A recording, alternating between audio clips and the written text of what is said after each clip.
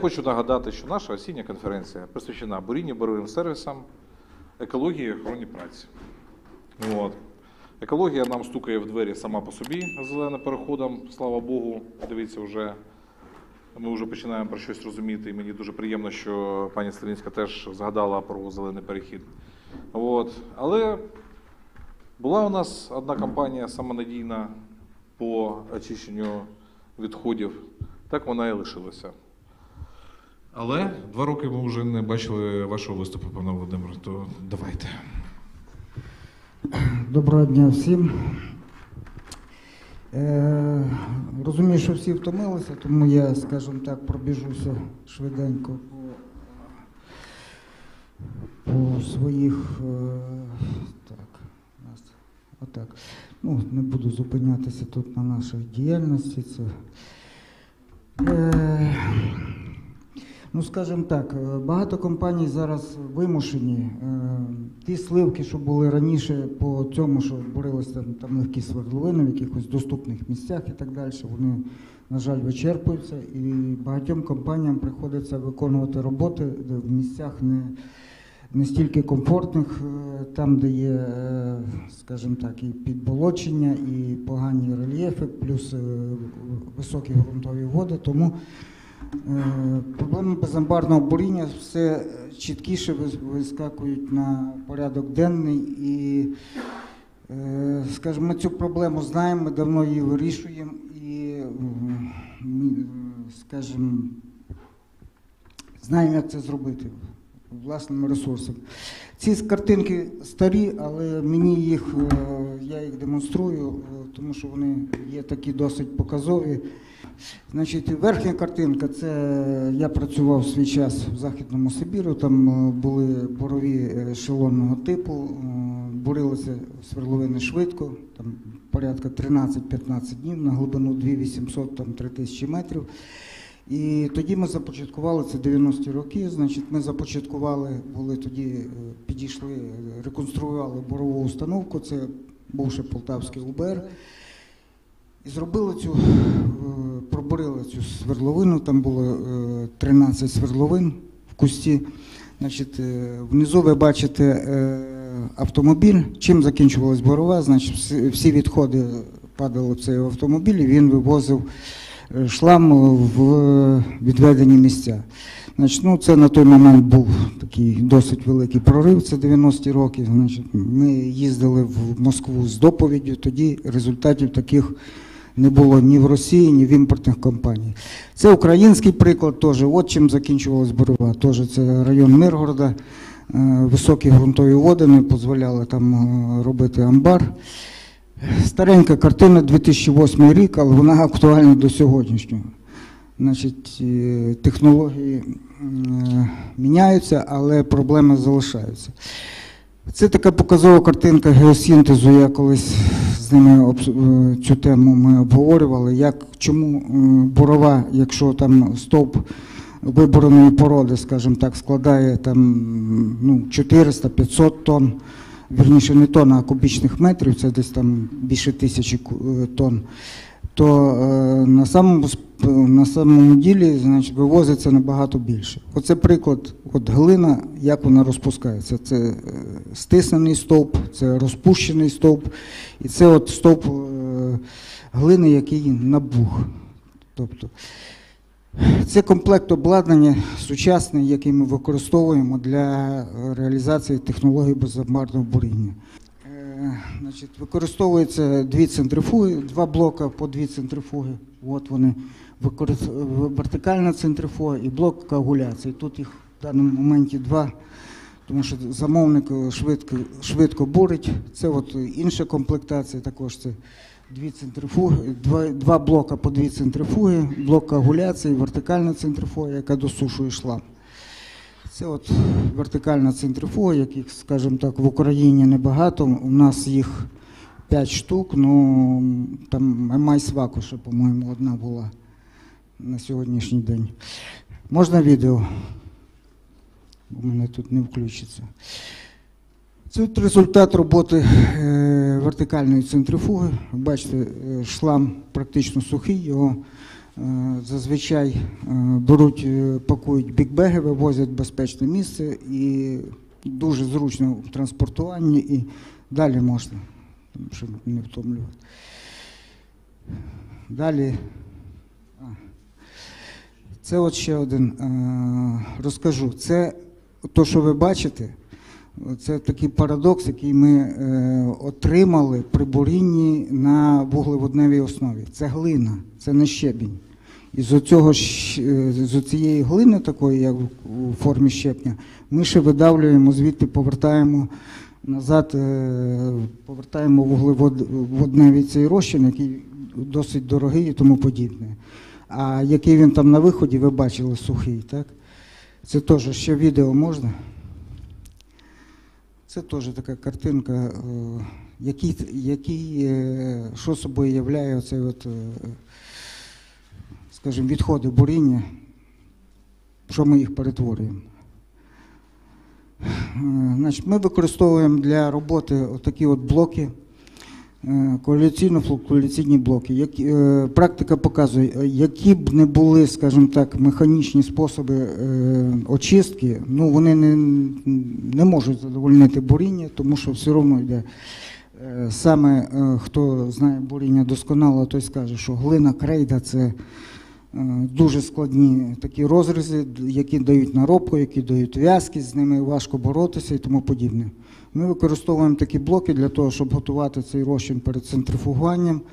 І він е, на виході у нас вже е, має підготовлений, йде на е, центрифуги, які, скажімо, далі ефективно видаляють цей накопичений шлам. У противному разі е, боровики все одно вимушені розбавлятися, тобто вони розбавляються е, водою, вода обробляється хімією додатково і ростуть об'єми, ростуть об'єми вивозу.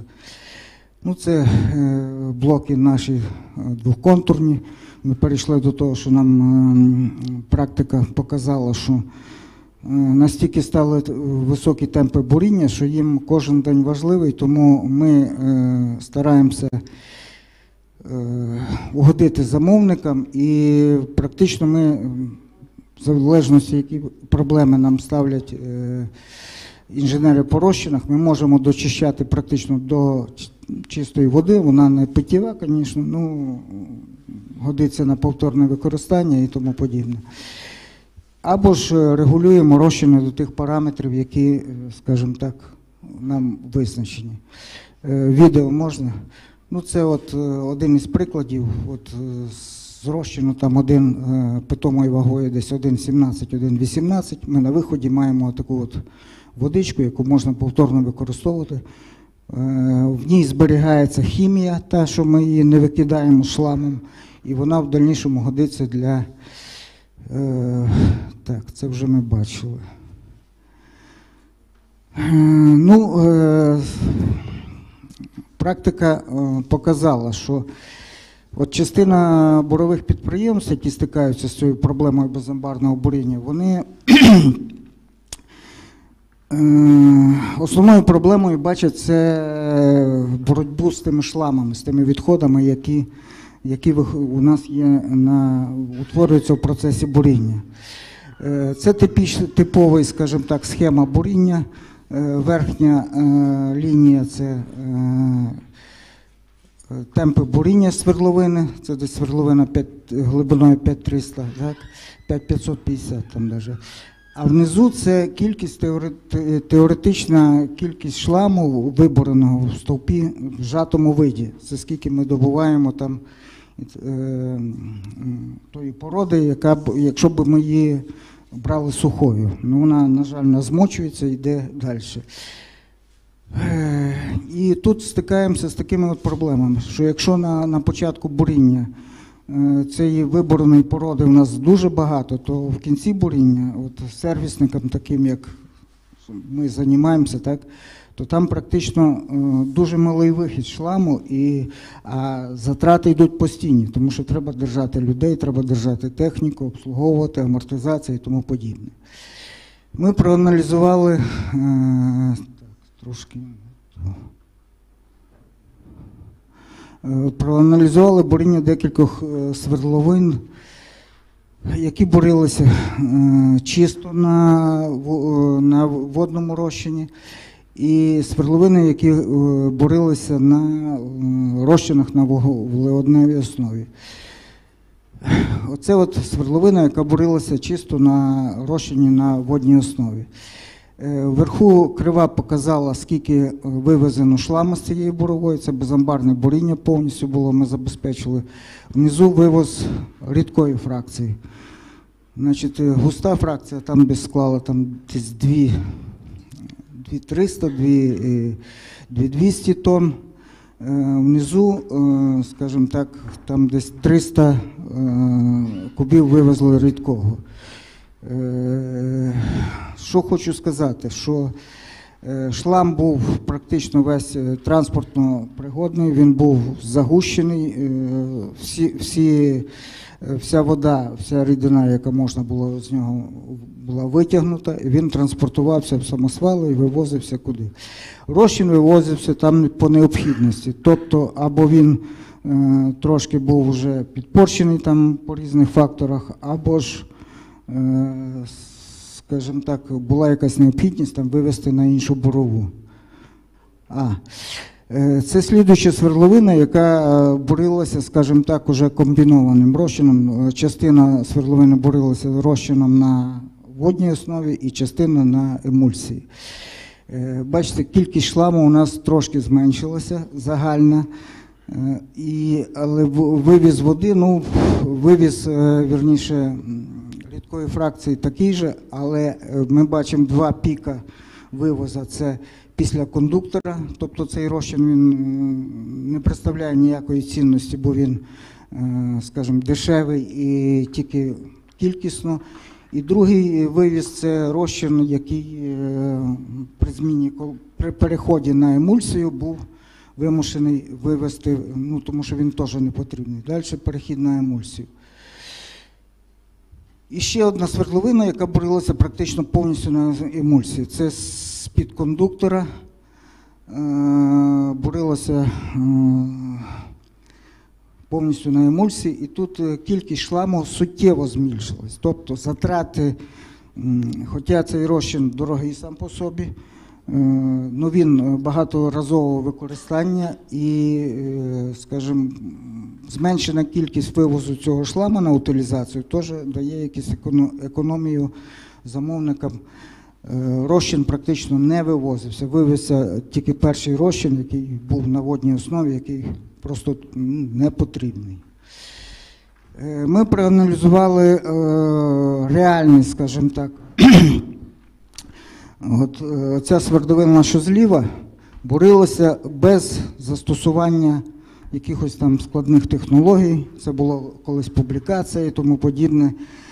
Ви бачите, е, об'єм відходів по свердловині це в кубичних метрах вивезено 6, е, 6665 метрів кубічних. Це якщо при питомій вазі там десь середня питома вага двійка, там, це ну, десь 12 тисяч тонн вивезено цього, е, цих відходів.